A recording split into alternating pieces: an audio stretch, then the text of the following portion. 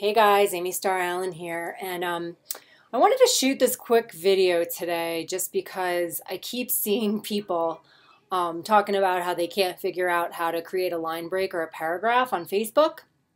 So I wanted to shoot a quick video to show you guys how to do that. There's um, a couple of ways to do it. So you probably know that if you are, if you're on your phone, it probably works fine.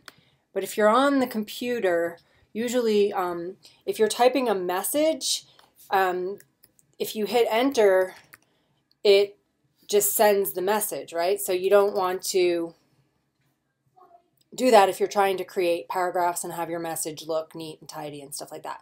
So there's, there's a couple different things you can do. The first one is um, if you want to, all right, so you're typing and now you want to go to the next line. You can click um, Shift Enter and do that as many times as you want to to get to where you want to be. So if you want to go, like if you go two lines, then it's like a new paragraph.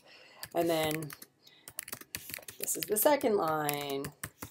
And then again, if you go shift enter, it brings it down once. Again, it brings it down again. So that's one way. Now, the reason that that's not ideal for a lot of people is that people tend to just hit enter automatically. And if you hit it automatically, it's going to send the message. And sometimes people send the message before they're really ready to send the message because they accidentally hit enter. So if you're afraid that you're going to do that, this is the other way that I do it. You, I just open a text editor and I'll just type out my whole message, you know, with paragraphs and whatever I want to put in there.